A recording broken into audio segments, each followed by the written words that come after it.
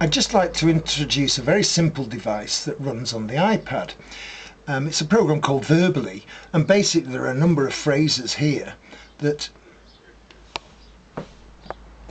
Please give me a moment. you can speak. Um, I use this iPad for speech.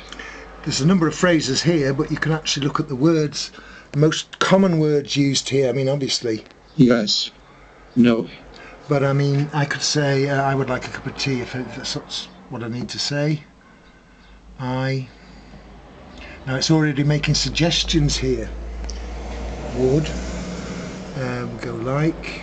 It's already come up with like. A is there. Cup. C. U.